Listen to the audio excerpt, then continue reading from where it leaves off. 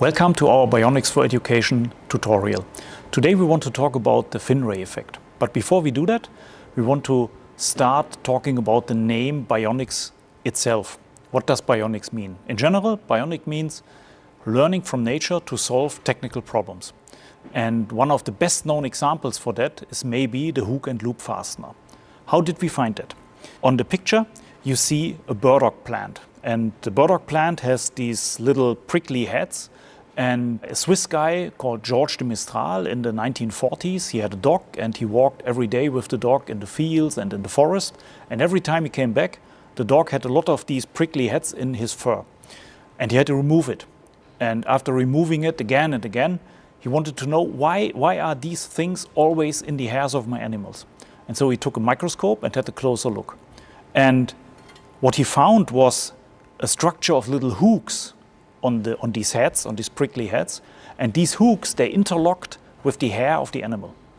And based on this idea, he developed the hook and loop fastener using the same principle. And he also created a whole company uh, producing this thing. And, and so this is a very good example for catching ideas from biology and making a technical product out of it.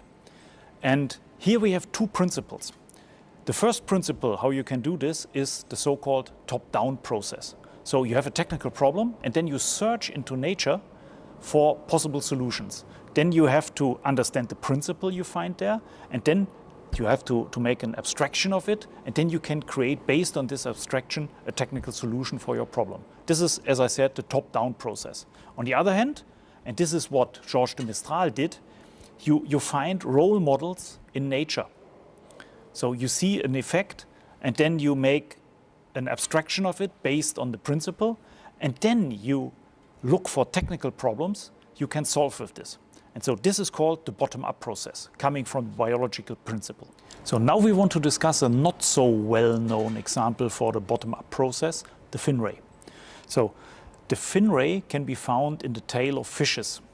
And if you have a look on the video, you see a fish swimming in the water and uh, now you can see what happens if you have a sheet of paper, for example, and apply a force on it. And of course, what we expect, uh, the sheet of paper will bend in the direction of the force. And now you see what happens if we apply a force on a fish tail. And you see it's not bending like that, but it's bending in an S shape and in the opposite direction, so to say, of the force. Why is the fish doing this? Because he can swim way more effective in the water with this effect. And uh, now a guy called Leif Kniese designed a technical solution doing the same thing. So you see here, this is a fin ray, and if I apply a force, you see the typical S shape of the tail of the fishes. And one of the first applications of this was the so-called AirJelly. Festo engineers developed it several years ago. It's a very lightweight structure, uh, flying, and it has uh, several fin ray tails on it, actuated by a very tiny motor and powered by a very tiny battery. And still, because the fin ray is so effective, it can move up and down silently and uh, very smoothly. So now we come back to our fish, to our biological role model, and uh, with the help of the Bionics kit, we want to assemble our own robot fish. So let's get the parts we need to assemble the fish. Open the box and the first thing you see is a cover and on the cover there's a, there are some plastic sheets we need for making the tail. The next thing we need is the body of the fish with the controller inside. The central segment with the O-rings. Of course the most important thing the fin ray then we have two smaller fin rays for the side tails. Then we need, of course, the cable ties and the silicon tube. And last but not least, the little servo motor. This is the waterproof one. For the fish, we need the waterproof servo. If you open the Bionics kit for the first time, the fin rays are not assembled. They look like this. And the first step is to connect the top part with the fin ray itself by some screws. And then to install the bars in the fin ray itself with also with the help of some screws. So you have a little uh, bag with screws and a little bag with these bars. And once you've done this, uh, the complete fin ray looks like this. So because this takes some time, we, we spare this for this video, but uh, it's a very simple process. So now we get started assembling the fish. So the first part we take is the fin ray and we, we have to fix this uh, silicon tube here and uh, usually it's that long. I cut it already a little piece of it because we don't need more. So and then we assemble it. This is always a tricky part. So that's done. So the next step is to assemble the servo motor like this. But before we fix it with this cable tie like this, we put the cable inside the silicon tube and put it through. No. Because this way the cable tie can have a double use, not only fixing the servo but also sealing the inlet for the cable. So and if we fasten this very tight, then this thing is watertight enough for what we have in mind. So now the cable tie we can cut with scissors or with this tool here and then we have the first step done. So now we have to actuate the fin ray itself and we do this again with cable ties. So we put a cable tie here and move it through the opposite of the servo bar and on the other end too.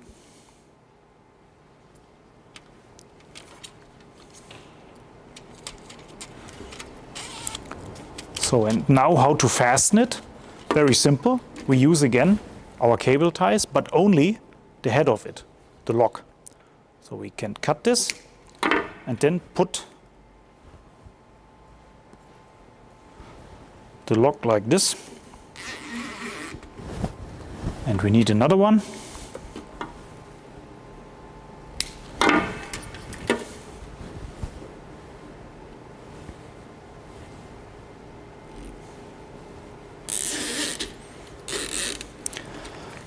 So, and with this we have fixed the um, servo with the fin ray and now you can see how the servo is moving the fin ray. Yeah? And if the fixation is not very well done or needs to be adjusted, no problem, because the cable ties can be reopened again and adjusted again. So again, we can cut the cable ties a little bit because we don't need them that long. The next step is to install the middle ring. And for the middle ring, it's very important that the O-rings are installed. These O-rings will seal the whole thing against the water. We have two of them on both sides, here and here. And then you put the ring together with the, with the fin ray part, slowly but surely. Now we need to connect the controller with the servo to test if it works. So we get the controller out of the body and um, put batteries in the controller to power it. You can use standard AAA cells, could be batteries, could also be accumulators as you like. Then you have to connect the servo with the controller with these outlet ports here. You have four sets of it. You can choose either one. Uh, but make sure that the black cable of the servo is connected with the pin where black is indicated. So I put this together, then I switch on the controller. You see a uh, green light and then the red light. And now I need some Wi-Fi device to make the first control. Choose WLAN and then you see a network called B4E and then some cryptic numbers. You choose this. And then you are asked for a password, which is education. And once you are connected to the network, and the network comes from the microcontroller here, you open your browser and type in uh, www.b4e.com. And then you see this dashboard. This is to control the bionic fish. and uh, so nothing is moving. This is because the speed is set to zero. And once I set the speed to a certain speed, you see that the servo starts moving. So now that the controller works, we can finalize the assembly. And for this, we have to put the controller back into the uh, main housing. There are some rails to, to guide the controller. If you put it in and push a bit, then the controller sits tight. Then you move the, the two parts together with this T-lock. Careful not to move the, the sealing. Turn it and then we are good to go. For the tails in the front, we can use the small fin rays. Yeah? We can attach them here and there. And for this, we need, again, cable ties. So the cable tie idea works here again. We have some, some openings in the housing, so we can put the cable tie in. Lead the cable tie through the fin ray. Take the next one. And then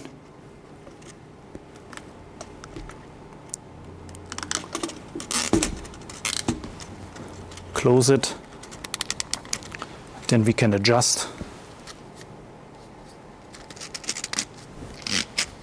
Okay. So now the, the fin in the back. For this we need this piece of uh, plastic from this piece of plastic you can create your own fin tail and the idea here is that you can use many, many, many different shapes. For this we have a picture of, as an idea. To save time, I have already prepared a, a tail like this. You see, it could be easily made from this plastic part. And again, how to assemble it. There is a, a slit here in the, in the back of the fin ray. You put it in. And then again, you take a little cable tie. Oops. Careful.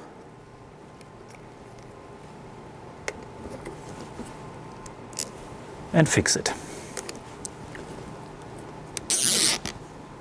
So now we have assembled the complete fish. It looks a little bit like a fish. We have a fin tail.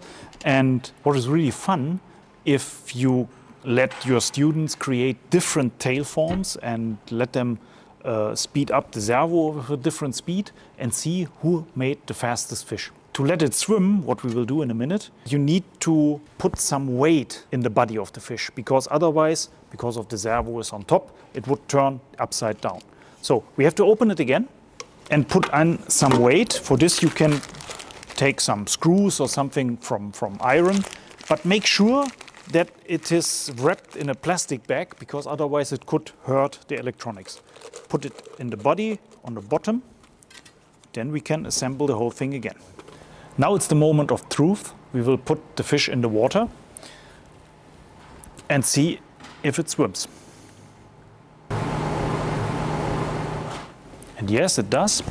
So and now I start the motor and you see it's moving slowly but surely forward. And so you can create a nice competition uh, with the students to create the fastest fish. It's a lot of fun for the students and I can guarantee you they are very engaged with it. So if you like this video and if you are interested in bionics at all, please visit our webpage bionicsforeducation.com. And with this, I want to say thank you for your interest and goodbye.